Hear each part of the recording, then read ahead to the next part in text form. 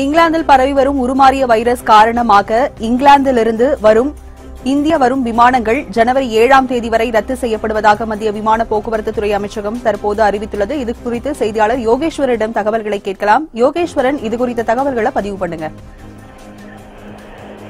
ராஜலட்சுமி இங்கிலாந்தை பொறுத்த மட்டுமே புதிய பரிமாணம் பெற்ற பரிமாற்றம் பெற்ற கொரோனா வைரஸ் ஆனது இந்தியா உட்பட பல்வேறு நாடுகளுக்கு பரவி கொண்டிருக்கக்கூடிய சூழ்நிலையில் இங்கிலாந்திலிருந்து செல்லப்படும் அனைத்து விமானங்களும் பல்வேறு நாடுகள் ரத்து செய்திருக்கிறது அதில் இந்தியாவும் உள்ளடங்கும். ஏற்கனவே நாளைய தினம் அதாவது டிசம்பர் மாதம் முப்பத்தி ஒன்றாம் தேதி நள்ளிரவு வரை இங்கிலாந்திலிருந்து வரக்கூடிய அனைத்து விமானங்களுமே ரத்து செய்யப்பட்டிருந்த நிலையில் தொடர்ச்சியாக இந்தியாவை பொறுத்த மட்டுமே அந்த புதிய வகை கொரோனா வைரஸால் பாதிக்கப்படக்கூடியவர்களுடைய எண்ணிக்கையானது அதிகரித்துக் கொண்டே இருக்கிறது.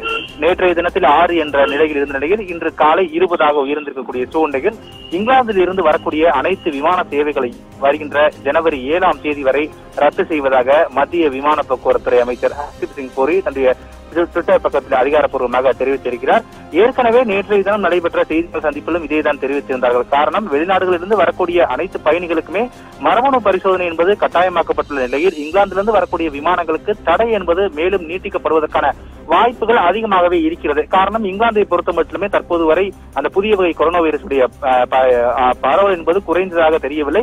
இருப்பினும் அங்கிருந்து வரக்கூடியவர்களுக்கு தொற்று என்பது நூறில் ஒருவருக்குனாலும் உறுதி செய்யப்படக்கூடிய சூழ்நிலையினால் வரக்கூடியவர்களுடைய எண்ணிக்கையை தற்காலிகமாக குறைப்பதற்காக அந்த விமானங்களுடைய சேவைகளை ரத்து செய்வதாக அஹ், அறிவி அஹ், ரத்து செய்யப்படும் என்பதை அறிவித்திருந்த நிலையில் தான் தற்போது நாளை இரவு பனிரெண்டு மணி வரை செய்வதாக அறிவிக்கப்பட்டிருந்த நிலையில் அதனை ஏழு நாட்கள் நீட்டு ஜனவரி ஏழாம் தேதி இரவு வரை இங்கிலாந்திலிருந்து வரக்கூடிய அனைத்து விமானங்களுமே ரத்து செய்யப்படுவதாக மத்திய போக்குவரத்துறை அமைச்சகம் அதிகாரப்பூர்வமாக அறிவித்திருக்கிறது.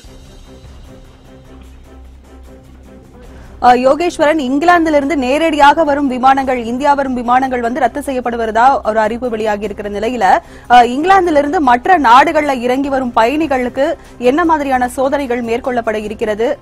என்ன மாதிரியான ஆயுத பணிகள்ல இருக்காங்க?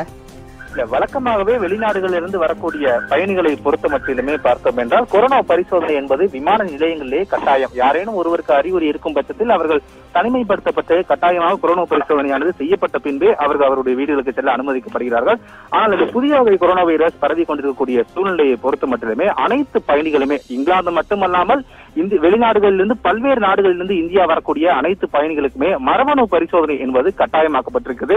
இதற்காக இந்தியாவில் கிட்டத்தட்ட பத்து சிறப்பு பரிசோதனை மையங்கள் ஏற்பாடு செய்யப்பட்டு வரக்கூடிய அனைத்து பயணிகளுக்கும் மரபணு பரிசோதனை செய்யப்பட்ட பின்பே தான் அவர்கள் அவர்களுடைய இல்ல வீடுகளுக்கு செல்வதற்கு இந்திய போக்குவரத்துறை அமைச்சர் மத்திய உள்துறை அமைச்சகம் அனுமதி அளித்திருந்தார்கள்.